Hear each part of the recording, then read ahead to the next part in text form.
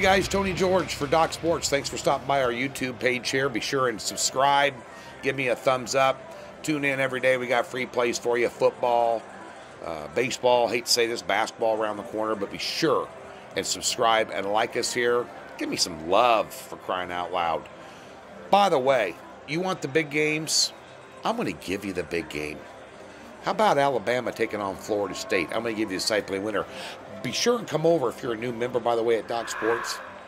Plug in uh, a new member account, get free $60 parked in there with a 100% pure profit guarantee. Since 1971, the leader in sports handicapping. That's why I moved here. That's why I'm here. And the customer service, second to none.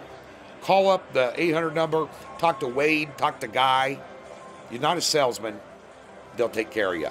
Be sure to remember that. Let's go ahead and get to the big one here. Seven points is the biggest marquee game of the weekend, obviously. Um, Florida State coming in here against Alabama in Atlanta, the ATL, in the brand new fancy stadium here. Going to break it in with a college football game, first college football game ever played in here. You take a look at this thing from a personnel perspective, you got to be worried if you're a Florida State backer, even though you're catching seven here. Dalvin Cook's gone. He's playing for the Vikings. You lost your two top wide receivers. You got a sophomore quarterback coming in here. Your two best offensive linemen are gone. And the key in this game is Jalen Hurts.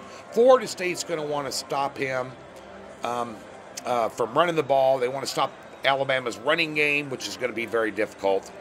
Um, and they're going to want to force him to throw. But if you take a look at Florida State last year, in a couple bad losses they had, you know what?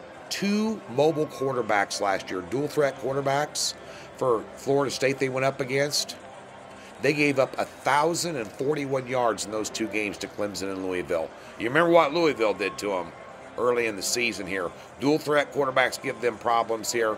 And another interesting statistic Alabama has won 40 out of 45 regular season games by 10 points or more. Now, the line is seven.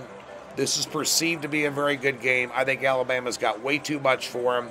I think this is a 10, 12 point win by Bama. I go lightly on the roll tide in the ATL, lay the seven against Florida State. Hey, Florida State loses this isn't going to hurt them anyway, you know. So I, I really think here Alabama's going to make a statement. I think Saban's a better coach at the end of the day. So take take Bama in this one, folks. Back at you on Sunday with another free college football play. Tune in.